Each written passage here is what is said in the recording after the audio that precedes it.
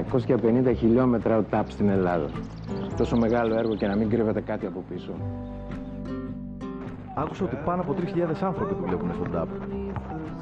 Πολύ καλό ακούγεται για να μην παίζει και κάτι άλλο. Λένε ότι θα καλυφθεί ολόκληρος από χώμα. Αλλά δεν μπορεί. Όλο και κάτι θα αφήσει. Τι είναι αυτό, μπαμπά; Είναι ο ΤΑΠ, παιδί μου. Ένας αγωγός που μεταφέρει φυσικό αέριο. Μια από τις πιο καθαρές πηγές ενέργειας. Αλλά να είσαι σίγουρος. Και από αυτό το έργο κάτι κρύβεται από πίσω. Πράγματι, κάτι κρύβεται από πίσω. Και όχι απλά κάτι, κρύβονται πολλά. Κρύβονται 33 στενοφόρα και 6 οχήματα πολιτικής προστασίας. 22 οχήματα καθαριότητας, 17 δασικά οχήματα και 14 εκχιονιστικά που προσφέρει ο ΤΑΠ στις τοπικές κοινωνίες στο πλαίσιο ενός από τα μεγαλύτερα έργα εταιρικής κοινωνικής ευθύνης για τη Βόρειο Ελλάδα συνολικού ύψους 32 εκατομμυρίων ευρώ. Γιατί το καλό δεν κρύβεται. ΤΑΠ. Αγωγός καλής ενέργειας.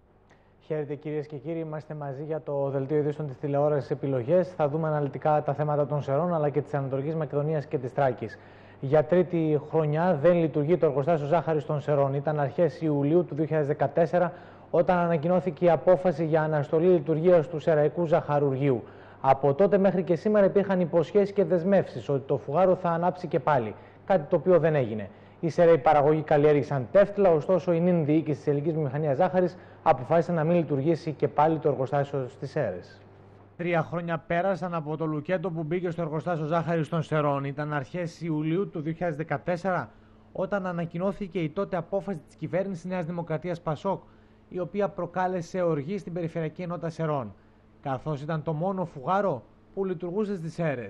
Από τότε μέχρι και σήμερα υπήρχαν υποσχέσεις και δεσμεύσεις και από την νυν κυβέρνηση ΣΥΡΙΖΑ ΝΕΛ ότι το φουγάρο του Σεραϊκού Ζαχαρουργείου θα ανάψει.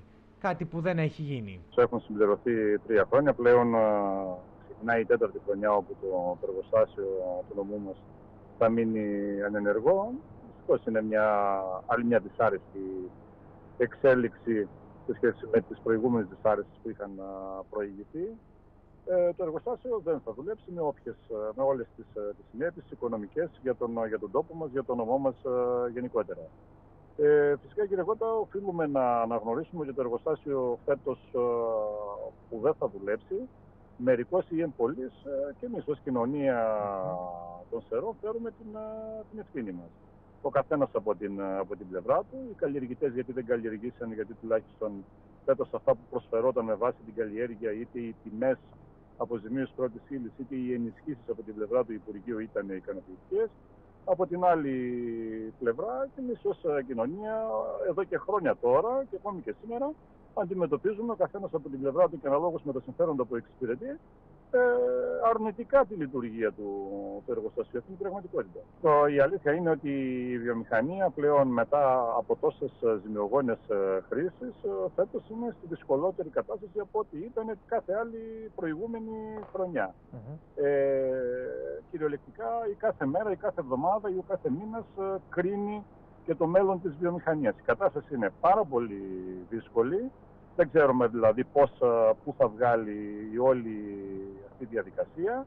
Ε, οι επόμενοι μήνες για άλλη μια φορά θα είναι αυτοί που θα κρίνουν το μέλλον της βιομηχανίας. Πάντως στην παρούσα φάση με την κατάσταση που, που επικρατεί είναι πάρα πολύ δύσκολη ε, η όλη φάση που έχει, που έχει δημιουργήσει. Να θυμίσουμε ότι κατά την περιοδία του στις αίρες στις 15 Μαρτίου ο Υπουργός Ψηφιακής Πολιτικής Νίκος Παπάς, έξω από τις εγκαταστάσεις του εργοστασίου Ζάχαρης, είχε τονίσει ότι η κυβέρνηση κάνει προσπάθειες ώστε να αυξηθεί η παραγωγή τεύτλων και να μπορέσει να επαναλειτουργήσει το εργοστάσιο Ζάχαρης των Σερών. Οι Σεραίοι καλλιέργησαν τεύτλα, ωστόσο η νυν διοίκηση της ελληνικής βιομηχανίας Ζάχαρης αποφάσισε να μην λειτουργήσει και πάλι το εργοστάσιο. Και υπάρχουν δυνατότητες και εδώ ακόμα και το εργοστάσιο των Σερών ε, να επανεκκινήσει εάν μαζευτούν οι απαραίτητες ποσότητες. Είναι μια ευκαιρία που ε, δεν πρέπει να χαθεί. Ε, θα παρακολουθούμε και εμείς με ενδιαφέρον τις προσπάθειες που γίνονται για να πιστούν οι παραγωγοί για να πιαστεί ο ελάχιστος στόχος για την επαναλειτουργία του εργοστασίου πράγμα που νομίζω ότι θα συμβάλλει συνολικά και στην ε, περιφερειακή αλλά και την τοπική οικονομία. Με τα φετινά στρέμματα τα οποία καλλιεργήθηκαν, θα μπορούσε να λειτουργήσει το εργοστάσιο των Σερών; Ε, Βεβαίως και θα μπορούσε να λειτουργήσει το εργοστάσιο. Ε, Και αυτό το πράγμα το έχουμε πει παντού, το έχουμε πει στους, ε, στους αρμόδιους ε, υπουργούς, στη διοίκηση της εταιρείας και σε όποιον γενικότερα ασχολείται με, την, με το θέμα της βιομηχανίας. Θα μπορούσε να λειτουργήσει και θα λειτουργούσε τουλάχιστον με τις μικρότερες δυνατές ζημιές σε σχέση με τα άλλα δύο ζαχαρουργία. Mm-hmm. Ε, Δυστυχώς η απόφαση που πάρθηκε είναι να λειτουργήσουν τα άλλα δύο ζαχαρουργία και πορευόμαστε με αυτή.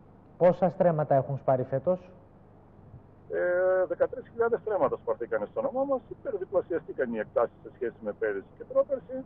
Αλλά δυστυχώς η απόφαση που, που πάρθηκε, ε, πάρθηκε με γνώμονα το να λειτουργήσουν τα άλλα δύο ζαχαρουργία. Για ακόμα μία φορά, διακοπή ηλεκτροδότησης σημειώθηκε χθες βράδυ στην πόλη των Σωρών με αποτέλεσμα ένα μεγάλο τμήμα της να βυθιστεί στο σκοτάδι. Σύμφωνα με τις δηλώσεις του διευθυντή της ΔΔΕ, του Μανώλη Μανουλίδη, εντοπίστηκε το πρόβλημα, αλλά δεν βρέθηκε μέχρι στιγμής η αιτία που το δημιουργεί. Ο ίδιος σημείωσε ότι θα γίνει πλήρη αντικατάσταση των καλωδίων προκειμένου να μην υπάρξει και στο μέλλον το ίδιο πρόβλημα. Περίπου 35 λεπτά διήρκησε η διακοπή ρεύματος που σημειώθηκε για ακόμα μία φορά στην πόλη των Σερών. Βυθίζοντας το σκοτάδι, ένα μεγάλο τμήμα της. Είναι η τρίτη φορά μέσα σε σύντομο χρονικό διάστημα, διευκρινίζει με δηλώσεις του ο διευθυντής της ΔΕΔΙΑ Ερών Μανώλης Εμμανουλίδη, αναφέροντας τους λόγους για τους οποίους σημειώθηκε η διακοπή ηλεκτροδότησης. Δυστυχώς είναι η τρίτη φορά που σε μικρό χρονικό σχετικά διάστημα έχουμε το ίδια, τα ίδια προβλήματα. Ξέρουμε το πρόβλημα που βρίσκεται αυτή τη στιγμή, αλλά δεν έχουμε εντοπίσει την αιτία η οποία προκαλεί το πρόβλημα. Ε, υπάρχουν κάποια καλώδια μέσα στάσει μέσα στον υποσταθμό, τα οποία με το παραμικρό μας δημιουργούν αυτά τα προβλήματα. Ήδη δύο φορές τα έχουμε επιδιορθώσει, η τρίτη όμως θα πάμε προς αντικατάσταση των καλωδίων αυτών, υποχρεωτικά πλέον. Ήδη έχει γίνει μελέτη, είναι δουλειά που πρέπει να γίνει δυστυχώς από συνεργεία Θεσσαλονίκης. Δεν είναι δικιά μας δουλειά. Μέσα στον υποσταθμό δεν έχουμε τόσο μεγάλες αρμοδιότητες εμείς, εκτός από χειρισμούς. Εχθές, με το που δημιουργήθηκε το πρόβλημα, μεταβήκαμε στον υποσταθμό, απομονώσαμε το πρόβλημα, το σημείο δηλαδή που είχε το πρόβλημα και στη συνέχεια ηλεκτροδοτήσαμε τις εφεδρικές γραμμές που υπάρχουν μέσα στον υποσταθμό, τα τμήματα της πόλης και ευρύτερη της περιοχής που δεν είχαν ρεύμα. Κράτησε περίπου 35 λεπτά αυτή η όλη διαδικασία. Ε, Δυστυχώς, είπαμε που σας είπα, την αιτία που δημιουργεί το πρόβλημα δεν την έχουμε εντοπίσει. Σύμφωνα με τον κύριο Μανουλίδη, οι υπάλληλοι της ΔΔΕ είναι από χθες αλλά και σήμερα επιποδός προκειμένου να εντοπίσουν το πρόβλημα. Ήδη και σήμερα προσωπικά και ο ίδιος πήγα σε, σε, κάποια σημεία που υποθέτουμε ότι υπάρχουν προβλήματα, δεν, δεν βρέθηκαν τίποτα. Από εδώ και πέρα θα δούμε τι θα κάνουμε, θα δούμε, σκεφτόμαστε πώς μπορούμε να αντιμετωπίσουμε, να εντοπίσουμε μάλλον την αιτία του προβλήματος και να το λύσουμε κιόλας. Δεν έχει καμία σχέση με τη ζήτηση του ρεύματος. Και ήθελα να σας πω μια απόδειξη αυτού του σημείου είναι ότι η διακοπή έγινε στις 11 παρα 10 το βράδυ, 11 παρα 5 συγγνώμη, πλέον τα φορτία έχουν πέσει. Τα φορτία είναι μεγαλύτερα, φορτία είναι γύρω στις 11 η ώρα το βράδυ. Υπάρχει γενικότερα τόση συζήτηση, υπάρχει όμως και αύξηση της κατανάλωσης. Στον νομόσορο έχουμε αύξηση της ζήτησης και κυρίως μεγάλη ζήτηση το καλοκαίρι, όχι λόγω των κλιματιστικών, έχουν προσθεθεί και τα κλιματιστικά, διότι οι αγρότες ποτίζουν και αυτή την ώρα. Το βράδυ. Το βράδυ. Ναι. Κυρίως έχουμε μεγάλη ζήτηση φορτίου μέσα στο νομό Σερών από αρδευτικές καταναλώσεις. Το θέμα είναι ότι εκείνη την ώρα δεν ήταν η μέγιστη ζήτηση, η μέγιστη ήταν δύο ώρες νωρίτερα. Δεν υπάρχει ενδεχόμενο και επόμενο blackout μέσα στις επόμενες μέρες, από τη στιγμή που δεν έχει βρεθεί η αιτία που προκαλεί το πρόβλημα. Όχι, δεν υπάρχει ενδεχόμενο τέτοιο, να το τονίσουμε, διότι τα καλώδια αυτά έχουν ήδη απομονωθεί. Και δεν είναι υποτάσσει, δεν λειτουργούν δηλαδή για να μας δημιουργήσουν πρόβλημα. Τα έχουμε απομονώσει και θα τα αντικαταστήσουμε, όπως σας είπα. Αλλάζουμε θέμα τώρα στο δελτίο μας. Στις 10 η ώρα το πρωί, επρόκειτο σύμφωνα με την προκήρυξη της Εγνατία Οδού ΑΕ να ανοίξουν οι φάκελοι των εταιριών υποψηφίων αναδοχών για την κατασκευή του νέου μετοπικού σταθμού διοδίων σε Στριμονικό και Καβάλα. Ωστόσο, λόγω της απεργίας των εργαζομένων στην εταιρεία, η διαδικασία δεν πραγματοποιήθηκε. Τηλεφωνικά κοντά μας είναι ο πρόεδρος του Συλλόγου Εργαζομένων της Εγνατίας Οδού, ο κ. Πασχάλης Τσουκαλάς, για να πούμε περισσότερα για το συγκεκριμένο θέμα, αλλά και για την ε, κινητοποίησή τους. Κύριε Τσουκαλά, καλό σας βράδυ από τις αίρες. Γεια σας, καλό βράδυ και από μένα και στους τηλεθεατές μας που μας παρακολουθούν τώρα. Λοιπόν, δεν έγινε ο διαγωνισμός, ε, αναβλήθηκε για την επόμενη φορά ε, Ναι, με αφορμή ακριβώς. την ε, κινητοποίησή σας στην απεργία που είχατε. Ακριβώς. Ο Σύλλογος Εργαζομένων της Εγνατίας Οδού ε, προκήρυξε από την Παρασκευή ε, 24 ώρια απεργία για τη σημερινή ημερομηνία με αποκλειστικό στόχο την αποτροπή τη του διεξαγωγής του διαγωνισμού για τους δύο σταθμούς διοδίων που ήταν. Ήταν δύο διαγωνισμοί. Ο ένας ήταν για το σταθμό της Καβάλας και ο άλλος για το στριμονικό στην περιοχή του Σερών. Ε, πραγματικά η συμμετοχή των εργαζομένων ήταν ε, μεγάλη μέσα στο, ε, στην, στην απεργία. Δεν υπήρξε κάποιος συνάδελφος, ε, τουλάχιστον στα κεντρικά, που να εργάστηκε. Ε, οι επιτροπές δεν μπορέσαν να εκτελέσουν το έργο τους λόγω συμμετοχής και των ε, εκπροσώπων των εργαζομένων, των, των υπαλλήλων της Μμμ. Εγνατίας Οδούς στου ε, διαγωνισμούς. Οπότε δεν έγιναν διαγωνισμοί και αναβλήθηκαν αυτοί οι διαγωνισμοί. Τώρα περιμένουμε απόφαση του Διοικητικού Συμβουλίου της Εγνατίας Οδού όταν συνεδριάσει για να πει την επόμενη ημερομηνία που θα διεξαχθούν αυτοί οι διαγωνισμοί. Οι εργαζόμενοι βέβαια ε, παραμένουν σε επάρξεις. Περιμένουμε πότε θα γίνει αυτή η, διαγω- η, η προκήρυξη. Θα κάνουμε πάλι γενική συνέλευση και θα δούμε αν και πώς θα γίνουν αυτοί οι διαγωνισμοί. Υπάρχει δηλαδή περίπτωση και στην επόμενη ημερομηνία που θα ενδεχομένως να γίνει ε, ο Διόλου διαγωνισμός πιθανό. να κάνετε Διόλου κινητοποίηση. πιθανό. Διόλου πιθανό. Μμμ. Διόλου πιθανό. Κοίτα, ε, κοιτάξτε, οι εργαζόμενοι ε, έχουμε μήνες τώρα που πραγματικά έχουμε αναδειωθεί ε, σε, αυτές, σε όλες τις διαγωνιστικές διαδικασίες που- για τους ε, διαγωνισμούς ε, για, τα, δι- για την κατασκευή και άλλων μετοπικών διαδίων στην Εγνατία Οδό. Τα επιχειρήματά μας είναι ότι ε, η Εγνατία Οδός σαν δημόσιος φορέας με τους φυστάμενους σταθμούς ε, διοδίων που έχει ε, έχει αυτή τη στιγμή έσοδα που μπορεί να καλύψει τα έξοδά της, να κάνει βαριά συντήρηση και να παρέχει έναν αυτοκινητόδρομο με συνθήκες ασφάλειας. Η κατασκευή επιπλέον σταθμών διοδίων και ακόμα παραπάνω με την καινούργια ε, κοινή υπουργική απόφαση αυτή που βγήκε πρόσφατα Μμμ. το, το Μάιο με τους καινούργιους σταθμούς, τους πλευρικούς σταθμούς διοδίων σε 20 κόμβους ε, συν τους μετοπικούς που, προσθέ, που προσθήθηκαν ε, δημιουργεί ένα διδυβάστακτο βάρος στις ε, τοπικές κοινωνίες με αποτέλεσμα σε μια τέτοια δύσκολη συγκυρία πραγματικά για τη χώρα μας να επιβαρύνεται ακόμα παραπάνω το μεταφορικό κόστος για τους περίπους. Εσείς ε, έχω και Πλέον από αυτό, Ναι. εμείς ξέρουμε τα στοιχεία που έχουμε, από τα κυκλοφοριακά μαντε- ε, μοντέλα που έχουμε στην εταιρεία, από την εμπειρία που έχουμε, ξέρουμε ότι ο φορέας αυ- έτσι όπως είναι, ε, το ελάχιστο τι- τίμημα που μπορεί να α, πάρει οποιοδήποτε ε, το κράτος από μια πιθανή α, ανα- που θέλουμε να την αποφύγουμε μια παραχώρηση είναι τουλάχιστον ένα, ε, πάνω από 3 δις. Γιατί τα κέρδη είναι, μιλάμε για 5,5 δις με έσοδα 150 περίπου εκατομμύρια το χρόνο. Μμμ. Ε, από ό,τι καταλαβαίνετε το τίμημα είναι πολύ μεγάλο.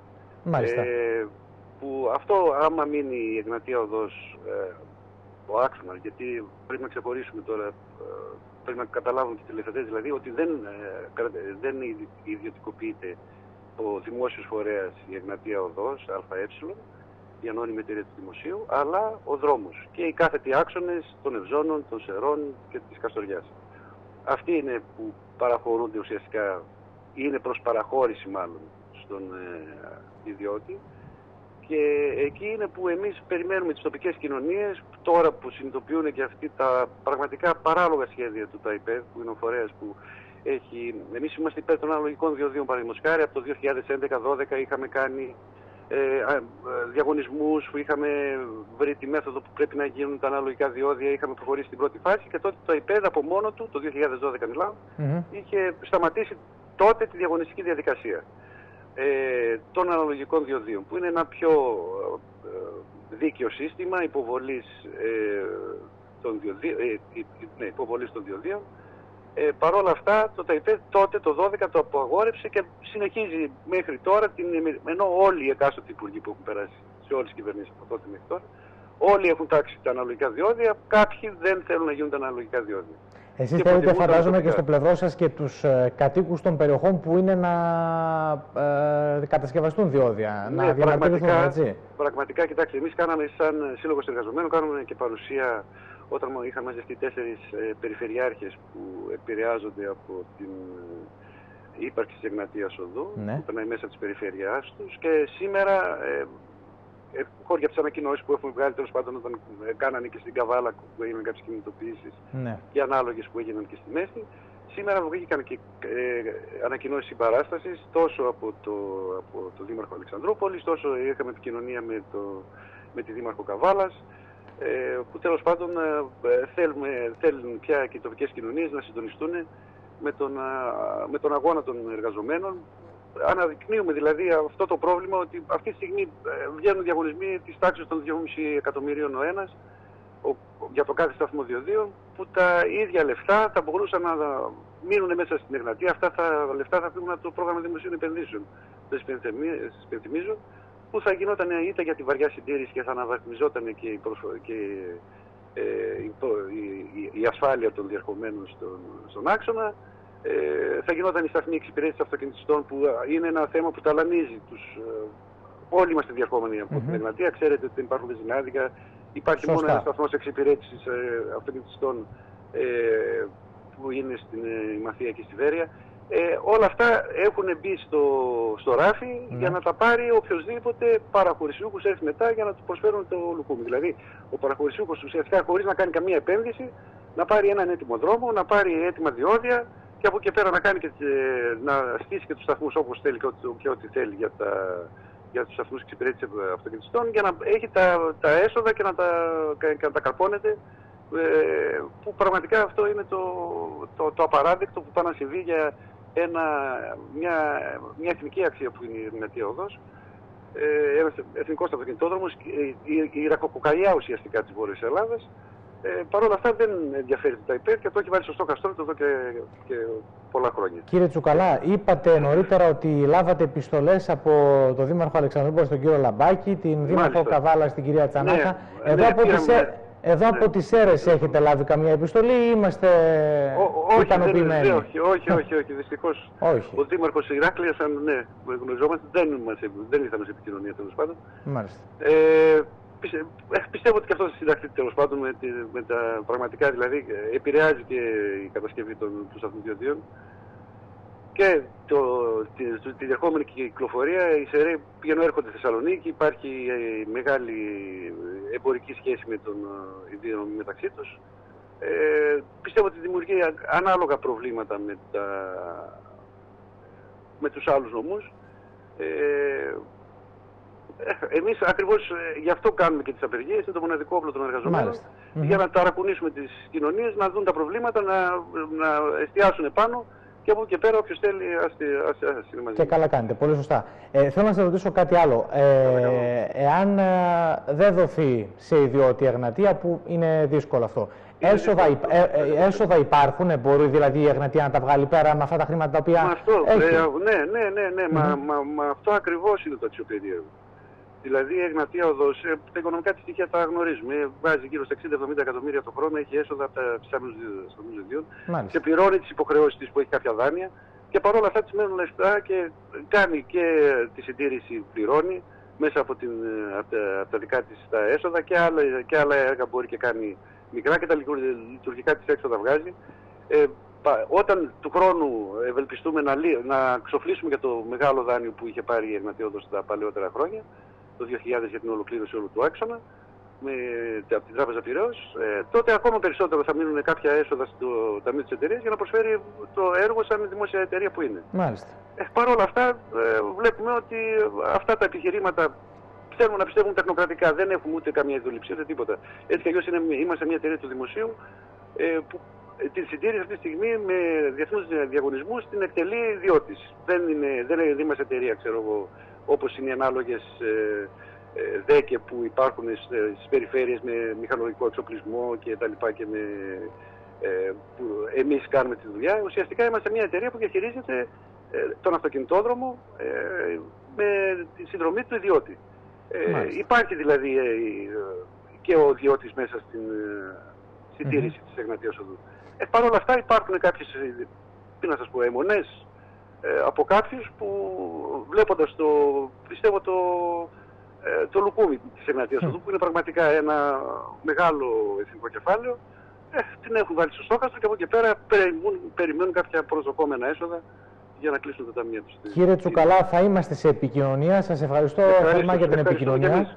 Ευχαριστούμε και εμείς. Να είστε καλά, Κάνουμε καλό την σας προπόνηση. βράδυ. Να είστε καλά. Γεια σας. Καλό βράδυ. Γεια. Ε, με δύο νέα οχήματα τώρα ενισχύεται η πυροσβεστική υπηρεσία των Σερών και συγκεκριμένα τα κλιμάκια Σιδηροκάστρου και Πορόιων. Πρόκειται για δύο υδροφόρα οχήματα με δεξαμενή νερού 4.000 λίτρων το καθένα. Τα οχήματα αυτά θα ενισχύσουν την επιχειρησιακή δράση της πυροσβεστικής υπηρεσίας στην περιφερειακή μας ενότητα. Το βράδυ της Παρασκευής παρέλαβε η πυροσβεστική υπηρεσία των Σερών δύο νέα πυροσβεστικά οχήματα. Πρόκειται για δύο υδροφόρα πυροσβεστικά οχήματα με δεξαμενή νερού 4.000 λίτρων το καθένα, τα οποία και δόθησαν στο πυροσβεστικό κλιμάκιο του Σιδηροκάστρου και στο πυροσβεστικό κλιμάκιο Ποροιών. Ε, Παρασκευή το βράδυ ήρθαν από Αθήνα δύο οχήματα δυναμικότητας 4 τόνων, 4x4, ε, τεχνολογίας 2017, καταλαβαίνετε τι εννοώ, υπερσύγχρονα, τα οποία τοποθετήθηκαν με διαταγή του αρχηγείου στο πυροσβεστικό κλιμάκιο Σιδηροκάστρου και Ποροιών. Δύο νέα οχήματα τα οποία με τις δυνατότητες τις οποίες ε, έχουν θα προσφέρουν τα μέγιστα στην πυρασφάλεια του νομού και όχι μόνο της περιοχής. Διότι αν χρειαστεί να συνδράμουν σε σημάν το οποίο θα παρουσιαστεί ε, σ- είτε στο Δήμο Σερών, είτε στο Δήμο Νέας ε, Ζήχνης, είτε στο Δήμο Βυσαλτίας, θα κληθούν και αυτά να συνεισφέρουν για, την, ε, για το καλύτερο αποτέλεσμα. Ε, Κάθε χρόνο υποβάλλονται ιεραρχικά οι υπηρεσιακές ανάγκες, εκτίθονται τα προβλήματα του νομού, από την άλλη μεριά αντιπαρατίθενται οι δυνατότητες οι οποίες έχουμε και τι πρέπει να γίνει έτσι ώστε να έρθει το καλύτερο αποτέλεσμα.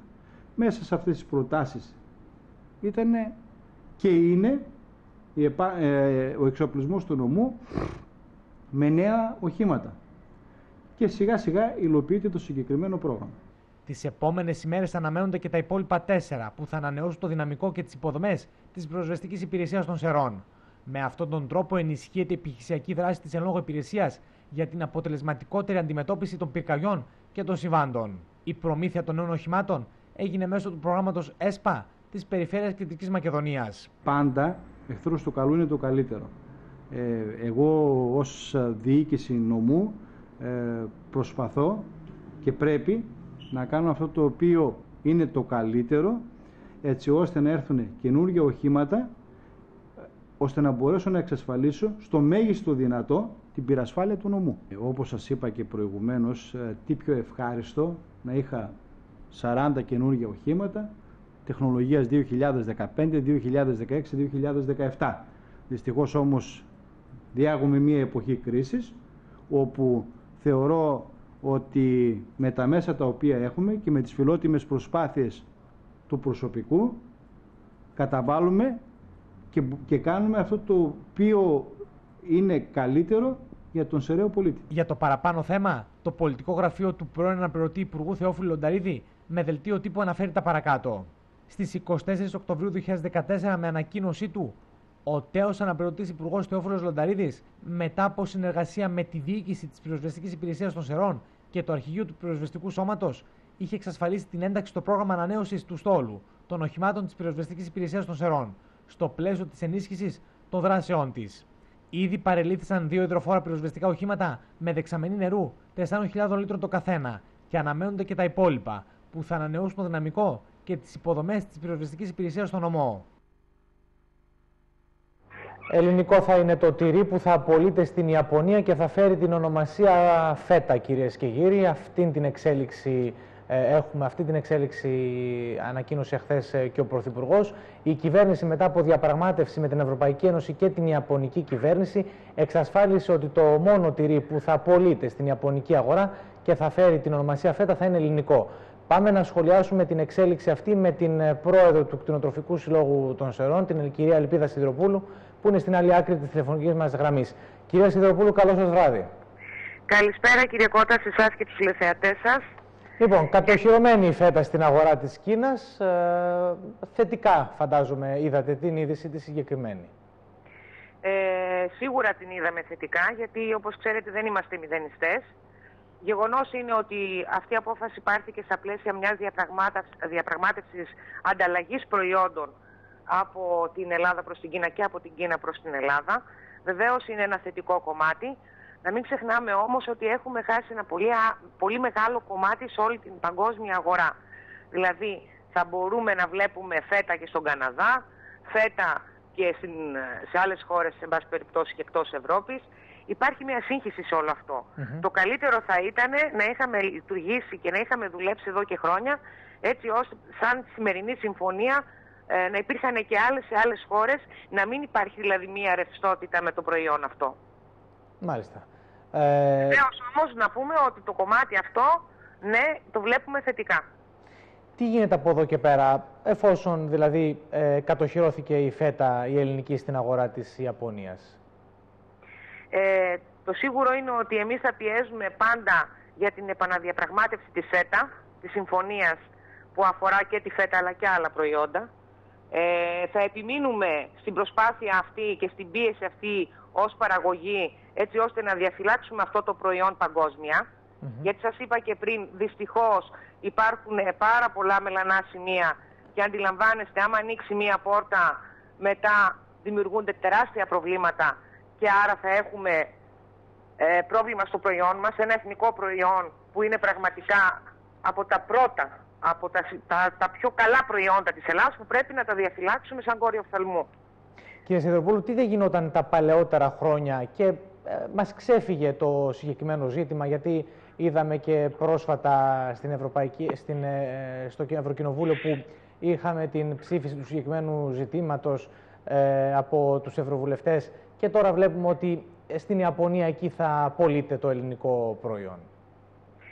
Ε, το θέμα ήταν, ε, κύριε Κώτα, ότι τόσο οι κτηνοτρόφοι, οι κτηνοτρόφοι της Ελλάδας που είχαν, δεν, δεν είχαν καταλάβει την αξία του προϊόντος το οποίο παρήγαγαν, με αποτέλεσμα να μην δώσουν έμφαση, να μην το προστατεύσουν, να μην κάνουν προσπάθειες έτσι ώστε να το κατανοήσουν και εκάστοτε κυβερνήσεις, αλλά και κάποιες κυβερνήσεις οι οποίες το κατάλαβαν, στην πορεία προφανώς πιέστηκαν από την Ευρωπαϊκή Ένωση, γιατί όπως καταλαβαίνετε ε, τα συμφέροντα είναι πάρα, πολλά, πάρα πολύ μεγάλα. Ναι, αλλά η λοιπόν Ελλάδα είναι πάνω από τα συμφέροντα προφανώς. Έτσι ακριβώς. Εκεί λοιπόν τα τελευταία τουλάχιστον χρόνια που το παρακολουθούμε εμείς υπήρχε η πίεση για, το, για τα ελληνικά προϊόντα να είναι ελεύθερα, να μην ε, προστατεύονται ε, με, με ονομασίες προέλευσης και εν πάση περιπτώσει pop κτλ με αποτέλεσμα να δημιουργηθεί όλο αυτό το μεγάλο πρόβλημα. Και όχι μόνο στη ΦΕΤΑ, αλλά και σε άλλα ελληνικά προϊόντα. Μάλιστα. Και εκεί ακριβώς ήταν το πρόβλημα των κυβερνήσεων, αλλά και των κτηνοτροφικών συλλόγων, που δεν είχαν αντιληφθεί το πόσο σοβαρό ήταν. Έτσι, αυτή τη στιγμή πρέπει να τρέξουμε πίσω από κάποιες καταστάσεις για να σώσουμε κάποια πράγματα. Αντιλαμβάνεστε ότι αυτό είναι τρεις φορές πιο δύσκολο από ό,τι αν γίνονταν εδώ και χρόνια. Δύσκολα δηλαδή θα σώσετε μαζί με τους και είναι δύσκολο. Βεβαίως σας είπα εμείς από πλευράς μας θα επιμείνουμε, θα πιέζουμε προς αυτή την κατεύθυνση, αλλά έχουμε χάσει πάρα πολύ χρόνο και έδαφος. Θέλω να... Για να... Mm Ναι. Ολοκληρώστε, ναι. Ε, για να γίνει αυτή η ανατροπή λοιπόν θέλει πάρα πολύ δουλειά από όλους μας. Μάλιστα. Ε, με την ευκαιρία που σας έχουμε, έχουμε τίποτα νεότερα όσον αφορά την κατανομή των βοσκοτόπων; Γιατί νωρίτερα διάβαζα σε δημοσιεύματα ότι πιθανόταν να γίνει αναλυβαδική μονάδα. Ναι, υπάρχουν διάφορα σενάρια για την αναδιανομή βοσκοτόπων. Υπάρχει και το σενάριο βέβαια ότι μπορεί ενδεχομένως να παραμείνουμε όσο έχουμε αυτή τη στιγμή και στην πορεία να αλλάξουν κάποια πράγματα. Δεν έχουμε σαφή εικόνα ακόμα γιατί όλα αυτά τα σενάρια είναι ακόμα ρευστά. Δεν έχουμε κάτι συγκεκριμένο για το τι ακριβώς θα γίνει. Οπότε και εμείς περιμένουμε να δούμε. Είμαστε, βρισκόμαστε σε αγωνία, γιατί και ως νομός θυμάστε ε, τα προβλήματα που είχαμε να αντιμετωπίσουμε και να πω ότι και μέχρι και σήμερα τα αντιμετωπίζουμε. Σε πάρα πολλές των περιπτώσεων ε, αδικήθηκαν και οι κτηνοτρόφοι του νομού Σερών γιατί φτάσανε από εκεί που πραγματικά έπρεπε να δικαιωθούν στο τέλος να πληρώνουν και ποινές χωρίς να ευθύνονται. Αντιλαμβάνεσαι ότι παρουσιάζει πολύ μεγάλο ενδιαφέρον για τον νομό Είναι ένα πρόβλημα το οποίο σας ταλανίζει εδώ και καιρό και λύση δεν υπάρχει δεν υπάρχει μέχρι στιγμής, ε, όπως γνωρίζετε είχαν, είχε και παρέμεινε μέχρι και πέρυσι τουλάχιστον η τεχνική λύση και περιμένουμε μία μόνιμη λύση. Να δούμε λοιπόν πώς θα εξελιχθεί αυτό. Α μην ξεχνάμε ότι είχαμε διάφορα προβλήματα με τους δασικούς χάρτες και όλα αυτά που προκύπτουν. Όλα αυτά ε, δεν νομίζω ότι ως διαμαγείας μέσα σε λίγες εβδομάδες ή σε λίγους μήνες θα τακτοποιηθούν και δεν θα υπάρξει κανένα πρόβλημα. Υπάρχουν Μάλιστα. διάφορα σενάρια που εξετάζονται. Κυρία Σιδηροπούλου, σας ευχαριστώ θερμά για την επικοινωνία. Ευχαριστώ και εγώ. Καλό, Καλό βράδυ. σας βράδυ. Πάμε τώρα σε θέματα της Ανατολικής Μακεδονίας και της Τράκης. Στην Αλεξανδρούπολη θα κάνουμε την πρώτη μας στάση. Ο συντονισμός τη- για την επίσπευση υλοποίησης του Περιφερειακού Σχεδιασμού Διαχείρισης Αποβλήτων συζητήθηκαν στην ημερίδα που πραγματοποιήθηκε τις προηγούμενες ημέρες στην Ανατολική Μακεδονία και τη Θράκη και συγκεκριμένα στην Καβάλα. Την ίδια ώρα την ικανοποίησή του για την συνολική εικόνα εξέφρασε ο Δήμαρχος Αλεξανδρούπολης Βαγγέλης Λαμπάκης, ο οποίος εκτίμησε ότι η περιφέρεια Ανατολικής Μακεδονίας και Θράκης θα έχει αλλάξει άρδιν ως προς την αντιμετώπιση και διαχείριση των σκουπιδιών. Όσον αφορά στην Αλεξανδρούπολη, φαίνεται πως το θέμα είναι θέμα ημερών η ανακοίνωση της ένταξης χρηματοδότησης για τη μονάδα επεξεργασίας απορριμμάτων. Στην Καβάλα βρέθηκε ο Δήμαρχος Αλεξανδρούπολης και πρόεδρος της ΠΕΔ Ανατολικής Μακεδονίας και Θράκη, Βαγγέλης Λαμπάκης, παρακολουθώντας την ημερίδα που διοργανώθηκε εκεί για τη διαχείριση των στερεών αποβλήτων, παρόντος μάλιστα και του αναπληρωτή Υπουργού Περιβάλλοντος Σοκράτη Φάμελου. Θέμα ημερών λοιπόν η ανακοίνωση της ένταξης χρηματοδότησης για τη μονάδα επεξεργασίας απορριμμάτων στην Αλεξανδρούπολη, αναφέρει ο κ. Λαμπάκης. Ουσιαστικά πρόκειται για ένα έργο περίπου 25 εκατομμυρίων ευρώ για ένα εργοστάσιο το οποίο θα εξυπηρετεί τους κατοίκους των δύο νομών Εύρου και Ροδόπης, ενώ παράλληλα θα γίνει και μία άλλη μικρότερη ΜΕΑ στην Ορεστιάδα κόστους 7 εκατομμυρίων ευρώ. Οι εργασίες κατασκευής της ΜΕΑ θα ξεκινήσουν σύντομα, τονίζει ο Δήμαρχος, και σε συνδυασμό με το χιτή έργο 6,5 εκατομμυρίων ευρώ. Το πρόβλημα της διαχείρισης των σκουπιδιών μέχρι το 2020 θα έχει αντιμετωπιστεί συνολικά στην περιφέρειά μας.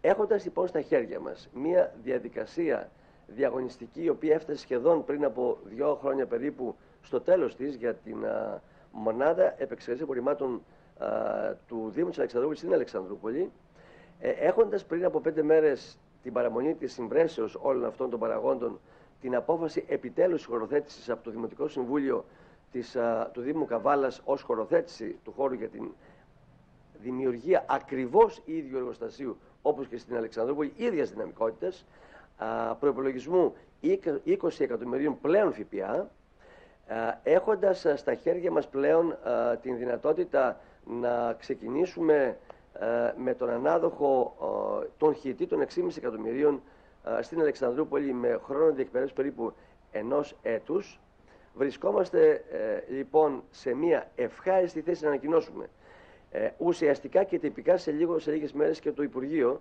την δημιουργία α, του εργοστασίου των 25 περίπου εκατομμυρίων στην Αλεξανδρούπολη μέσα από την δια, διαγωνιστική διαδικασία, διαδικασία που θα ξεκινήσει από τη Διαμάθ. Αυτό σημαίνει ότι σε ένα χρόνο περίπου θα έχουμε το χιτή. Α, υπολογίζουμε περίπου σε 2 με 2,5 χρόνια θα έχουμε την α, κατασκευή ολοκληρωμένη του εργοστασίου αυτού ε, και έτσι θα έχουμε λύσει την, το πρόβλημα της διαχείρισης των απορριμμάτων και της μετακομίσεώς τους, της μεταφοράς τους μάλλον, από τον Δήμο μας προς την Κομωτινή κάθε μέρα δαπανώντας περίπου 900.000 ετησίως. Και βέβαια αυτό σημαίνει ότι Δήμος Σουφλίου, Δήμος Αλεξανδρούπολης, Δήμος Σαμοθράκης. Και οι Δήμοι όλου του νομού Ροδόπης για αρκετά χρόνια θα λύσουν το πρόβλημα της διαχειρίσεως μια και όλα αυτά θα έρχονται προς α, διαχείριση στο εργοστάσιο της Αλεξανδρούπολης και βέβαια στο χιτή της Αλεξανδρούπολης. Το υπόλοιμα, γιατί πλέον θα μιλάμε για χιτή, για χώρο υγειονομικής ταφής υπολοιμάτων, όσα δηλαδή περισσεύουν και θα είναι λίγα αυτά από την α, διαχείρισή τους στο εργοστάσιο της Αλεξανδρούπολης α, και ε, βέβαια μελλοντικά για να λύσουμε το πρόβλημα ολοκληρωτικά το εργοστάσιο των 7 εκατομμυρίων συν ΦΠΑ στην Ορεστιάδα α, και στο Διδημότυχο, κάπου εκεί ανάμεσα, το οποίο θα διαχειρίζεται τα α, στερεά απόβλητα της, α, α, των δύο Δήμων της Ορεστιάδος και του Διδημοτήχου. 550 χιλιόμετρα ο ΤΑΠ στην Ελλάδα. Τόσο μεγάλο έργο και να μην κρύβεται κάτι από πίσω. Άκουσα ότι πάνω από 3.000 άνθρωποι δουλεύουν στον ΤΑΠ. Πολύ καλό ακούγεται για να μην παίζει και κάτι άλλο. Λένε ότι θα καλυφθεί ολόκληρος από χώμα. Αλλά δεν μπορεί. Όλο και κάτι θα αφήσει. Τι είναι αυτό, μπαμπά; Είναι ο ΤΑΠ, παιδί μου. Ένας αγωγός που μεταφέρει φυσικό αέριο. Μια από τις πιο καθαρές πηγές ενέργειας. Αλλά να είσαι σίγουρος. Και από αυτό το έργο κάτι κρύβεται από πίσω. Πράγματι, κάτι κρύβεται από πίσω. Και όχι απλά κάτι, κρύβονται πολλά. Κρύβονται 33 στενοφόρα και 6 οχήματα πολιτικής προστασίας. 22 οχήματα καθαριότητας, 17 δασικά οχήματα και 14 εκχιονιστικά που προσφέρει ο ΤΑΠ στις τοπικές κοινωνίες στο πλαίσιο ενός από τα μεγαλύτερα έργα εταιρικής κοινωνικής ευθύνης για τη Βόρειο Ελλάδα συνολικού ύψους 32 εκατομμυρίων ευρώ. Γιατί το καλό δεν κρύβεται. ΤΑΠ. Αγωγός καλής ενέργειας. Σε θέματα των σερών τώρα, μετά τη μεγάλη επιτυχία και αποδοχή της πρώτης και δεύτερης Σερέξπο, διοργανώσεις που στήριξαν τους εραίους επιχειρηματίες και ανέδειξαν τα προϊόντα αλλά και τις υπηρεσίες των σερών, το Επιμελητήριο Σερών ανακοινώνει την τρίτη Σερέξπο 2017, η οποία θα πραγματοποιηθεί από τις 29 Σεπτεμβρίου έως και την 1η Οκτωβρίου στον αύριο χώρο της Περιφερειακής μας Ενότητας. Η έναρξη της έκθεσης προβλέπεται και φέτος εντυπωσιακή, καθώς θα φιλοξενηθούν δημοφιλείς καλλιτέχνες όπως η Ελευθερία Αρβανιτάκη, η Άννα Βύση, η Δέσποινα Βανδί και η Έλληνα Παπαρίζου. Από τις 29 Σεπτεμβρίου έως και την 1η Οκτωβρίου θα πραγματοποιηθεί η τρίτη Διεθνής Επιχειρηματική Έκθεση του Επιμελητηρίου Σερών, Σερέξπο 2017. Το κορυφαίο αυτό οικονομικό, επιχειρηματικό και κοινωνικό γεγονός, με αμυγός επαγγελματικό χαρακτήρα και διεθνή προσανατολισμό, προσέλκυσε ένα ιδιαίτερος μεγάλο αριθμό συμμετοχόντων όσο και εμπορικών επισκεπτών στις δύο προηγούμενες διοργανώσεις. Με αφορμή τη φετινή Σερέξπο, στο επιμελητήριο των Σερών το απόγευμα της Δευτέρας έγινε ενημέρωση των εκθετών για τη διοργάνωση. Η Σερέξπο είναι η δικιά μας η έκθεση.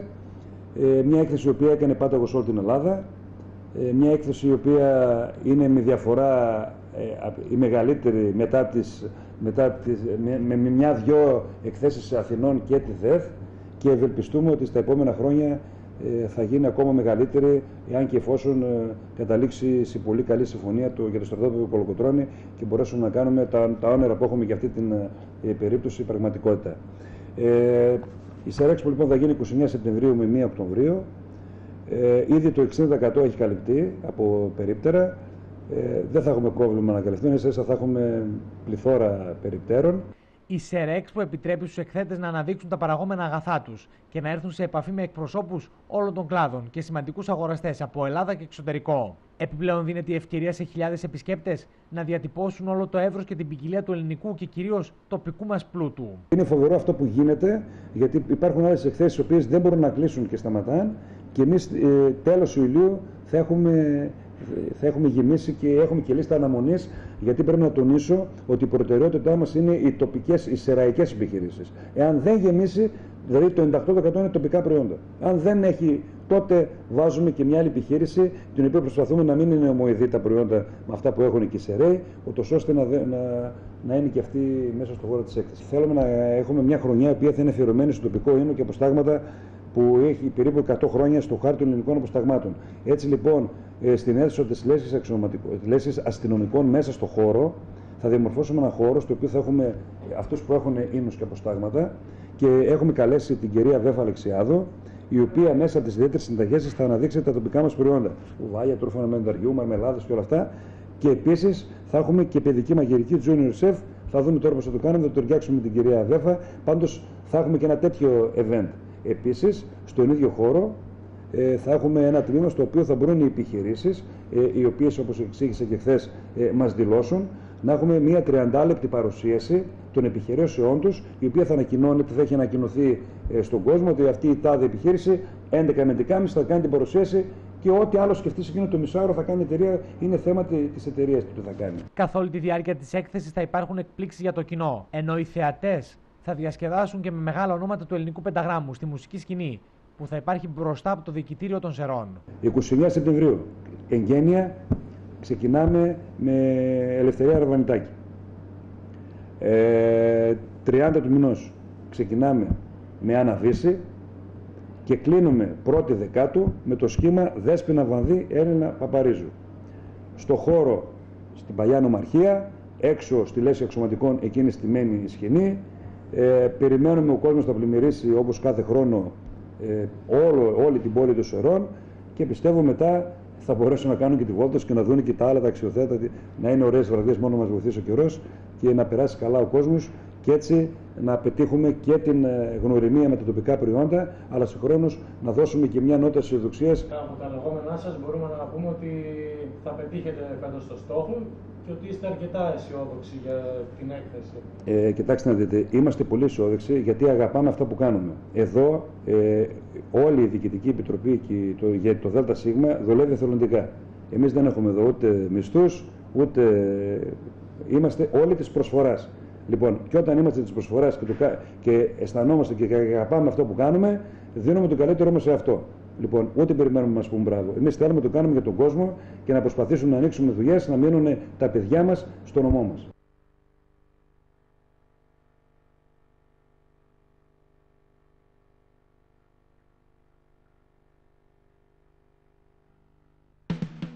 Σούπερ μάρκετ Κάντζας. Κάθε προσφορά και μία ευκαιρία. Μη χάσετε ούτε μία. Μέχρι την Τετάρτη 12 Ιουλίου. Σκύπ υγρό 28 μεζούρες, ένα συν ένα δώρο. Κούτα και ένταμ Γερμανίας, το κιλό με 5 και 60. Πραλίνα φουντουκιού το διαλεγμένο ενός κιλού, μόνο 3 και 61 και δώρο ψωμί τόστ σταρένιο 400 γραμμαρίων. Νέα αφρόλουτρα τερμομέτ 750 ml με 1 και 40. Αλλά και όλα τα τένα πάντς 30% φθηνότερα. Σούπερ μάρκετ Κάντζας. Ψωνίζουμε, κερδίζουμε.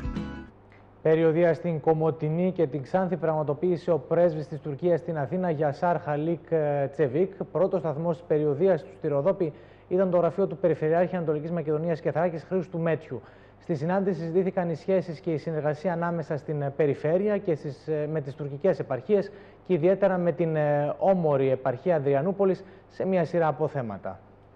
Συνάντηση με στόχο τη συνεργασία αλλά και τη σχέση μεταξύ της περιφέρειας Ανατολικής Μακεδονίας και Θράκης και των τουρκικών επαρχιών πραγματοποιήθηκε στην Κομωτινή. Ο Περιφερειάρχης Ανατολικής Μακεδονίας και Θράκης Χρήστος Μέτσιο συνάντησε στο γραφείο του στην Κομωτινή τον πρέσβη της Τουρκίας στην Αθήνα, Γιασάρ Χαλίτ Τσεβίκ. Στο τραπέζι των συζητήσεων τέθηκαν ζητήματα που αφορούν νευραλγικούς τομείς, όπως αυτούς της οικονομίας και της επιχειρηματικότητας. Δόθηκε ιδιαίτερη έμφαση στη συμμετοχή ελληνικών και τουρκικών επιχειρήσεων σε εμπορικές εκθέσεις, η συμμετοχή των δύο χωρών στον δρόμο του μεταξιού, αλλά και η αντιμετώπιση των ζωονόσων και η καταπολέμηση των κουνουπιών. Συζητήσαμε μια σειρά από θέματα και την προοπτική εμβάθυνση των σχέσεων και συνεργασία μεταξύ των περιοχών της Τουρκίας, της ευρύτερης περιοχής της Ανδριανούπολης εννοώ και της περιφερειάς μας. Ε, η, η επιχειρηματικότητα, ο τουρισμός, η ανάπτυξη του πρωτογενούς τομέα, στόχοι αναπτυξιακοί δικοί μας που θα βοηθήσουν την ανάπτυξη αλλά και το εισόδημα των κατοίκων της περιοχής μας ε, είναι, θεωρώ, κοινή στόχη. Περαιτέρω συνεργασία σε συμμετοχή εκατέρωθα σε εκθέσεις, αλλά και προβλήματα αντιμετώπισης των ζωονόσων απασχόλησαν τη συζήτησή μας. Πάλι θα ήθελα να ευχαριστήσω τον κύριο Περιφερειάρχη, όντω όπως ανέφερε αυτός, η ανάπτυξη των όμορων περιοχών της Ανατολικής Μακεδονίας και Θράκη αλλά και της Εντζέρνη θα συμβάλλει στην εμβάθυνση και στην ενδυνάμωση της ανάπτυξης ε, και των δύο χωρών. Γι' αυτό το λόγο ευχαριστώ πολύ τον κύριο Περιφερειάρχη που ανέφερε όλα αυτά. Στη συνάντηση παραβρέθηκαν και ο Γενικός Πρόξενος τη Τουρκία στην Κομωτινή, Αλή Ριζά Ακιντζή, καθώς και ο θεματικός αντιπεριφερειάρχης οικονομικών διοίκησης και διαφάνειας της Περιφέρειας Ανατολικής Μακεδονίας και Θράκης, Αχμέτη Μπραμ, αλλά και ο περιφερειακός σύμβουλος Ροδόπης, Μουσταφά Κατραντζή.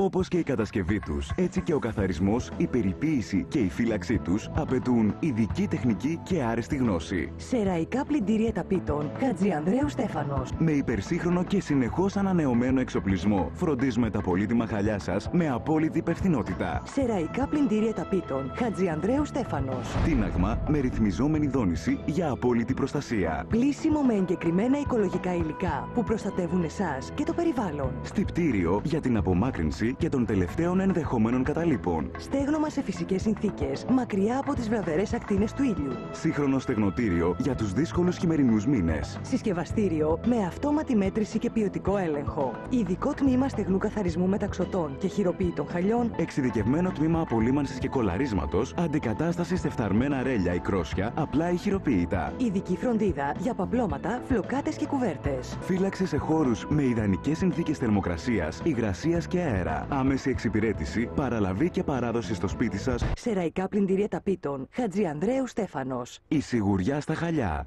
Στο σημείο αυτό, κυρίες και κύριοι, θα πάμε να συνομιλήσουμε με τον πρόεδρο της ΔΕΙΑΣ, της Δημοτικής Επιχείρησης Σύνδρευση και Αποχέτευσης ε, Σερών, τον κύριο Γιάννη Γάτσιο, που είναι κοντά μας τηλεφωνικά, γιατί είχαμε πρόβλημα στην υδροδότηση στη δημοτική κοινότητα του Λευκόνα.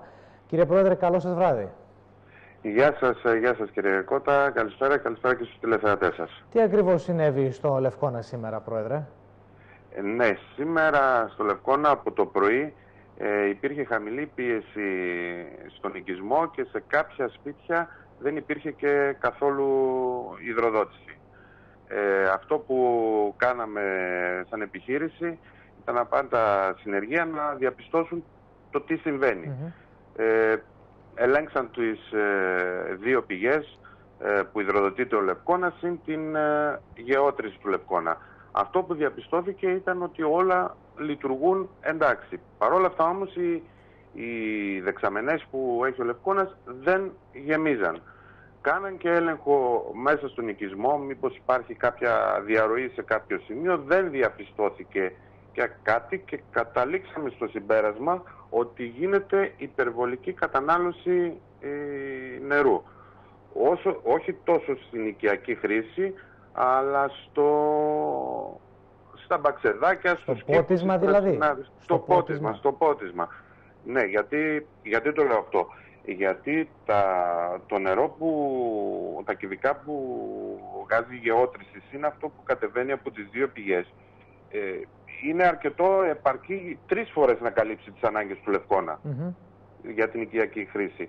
Ε, Παρ' όλα αυτά υπήρχαν ε, περιπτώσεις σε κάποια σπίτια του οικισμού που δεν είχαν και καθόλου νερό. Δηλαδή, Πρόεδρε, τώρα αυτό που μου λέτε είναι ότι όλοι οι κάτοικοι είναι με το λάστιχο στο χέρι και τελειώνει το νερό στο Λευκόνα από τις δεξαμενές. Αυτό φαίνεται. Αυτό φαίνεται από τα στοιχεία που συνέλεξε η υπηρεσία και αυτό που θέλω να πω εγώ προς τους κατοίκους του Λευκόνα, έκκληση κάνω, Ναι. να κάνουν μια πιο ορθολογική χρήση του, του νερού για να μην αντιμετωπίσουμε πρόβλημα τις επόμενες ημέρες. Το νερό που, που έχουν ε, στο χωριό επαρκεί να καλύψει τις ανάγκες και φυσικά και τους κήπους και τα μπαξεδάκια, αλλά σε- με λογική χρήση.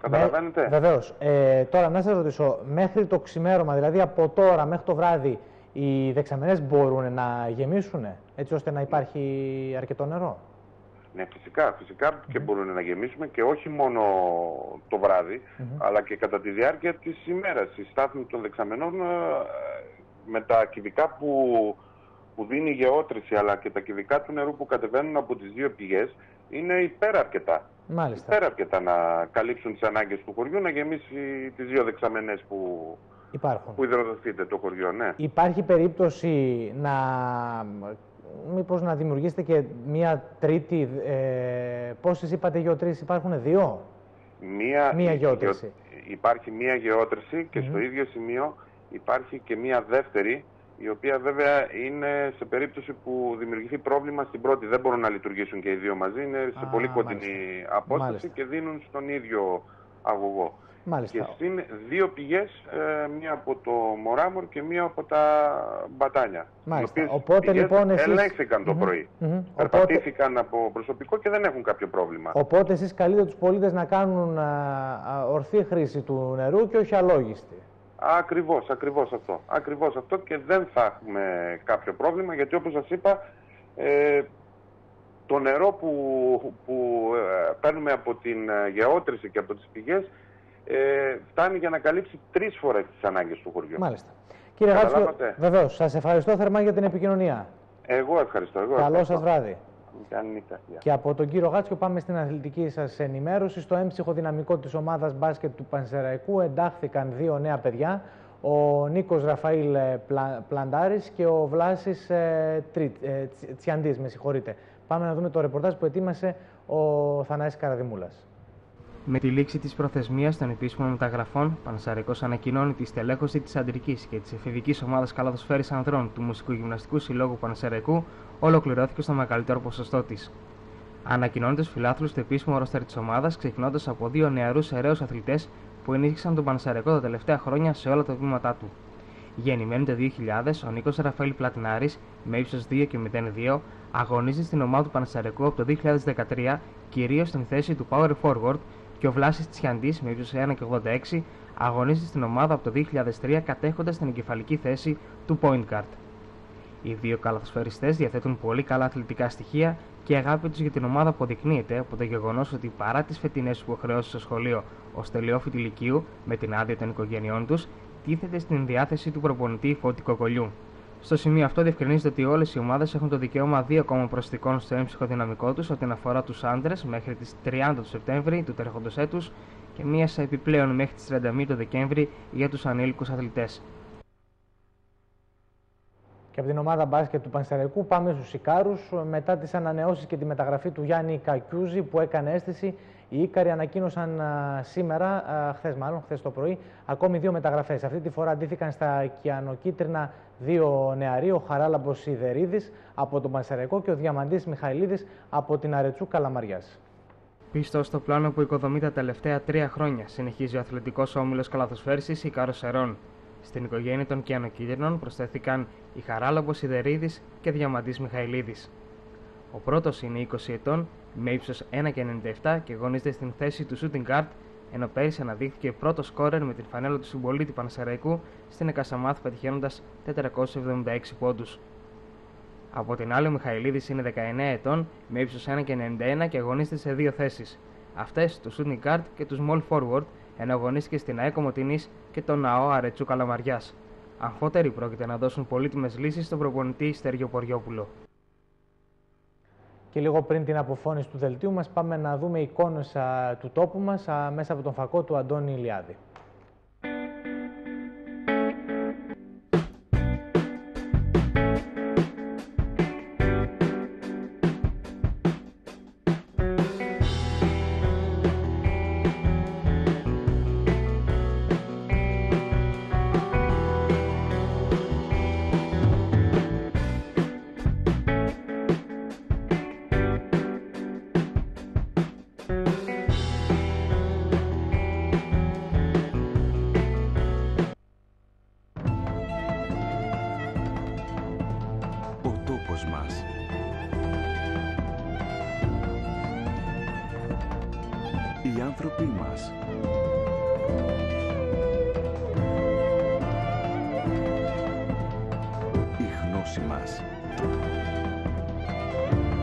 μεράκι μας. Η φέτα του τόπου μας. Φέτα κορυφή. Η φέτα του τόπου μας.